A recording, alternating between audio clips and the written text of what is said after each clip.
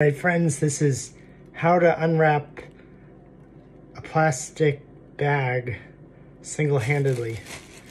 I don't know how you usually do this with two hands because if you see how they tie this, it's like, how do you weave that through? I'm sorry if this is trying to do this without ruffling it, but you, you see how that's I guess they undid this pretty well because that's usually those are tighter. But you just reel it like that and it's whoa. Sometimes they're a little bit tighter. Be sure to get vaccinated sanitize and subscribe